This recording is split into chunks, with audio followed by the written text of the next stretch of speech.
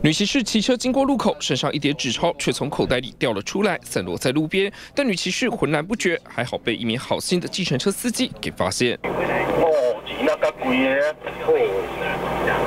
再看一次当时画面，女骑士完全没发现自己掉了钱，一直往前骑。计程车司机见追不上她，担心她有急用，立刻把车停在路边，下车帮忙把钞票一张一张捡起来，全数一万四千元，统统带到派出所。那个计程车停到路边了，因为车上还有乘客，是计程车司司机自己一个人下去捡。据村里表示，哈，那一万四千块是要。给他父亲哈买营养品用的，所以非常感谢那个庄心司机。